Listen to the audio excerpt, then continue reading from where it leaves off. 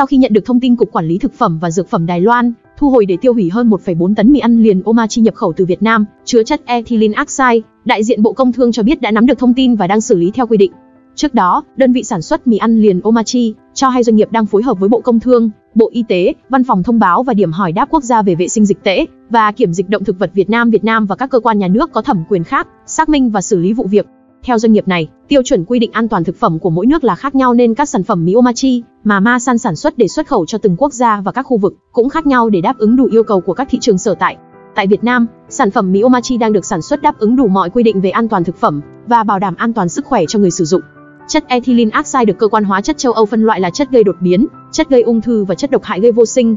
Việc tiêu thụ thực phẩm có nhiễm ethylene oxide không gây nguy hiểm cấp tính cho sức khỏe. Tuy nhiên, nếu tiêu thụ với lượng nhiều và trong thời gian dài sẽ làm tăng nguy cơ gây hại sức khỏe.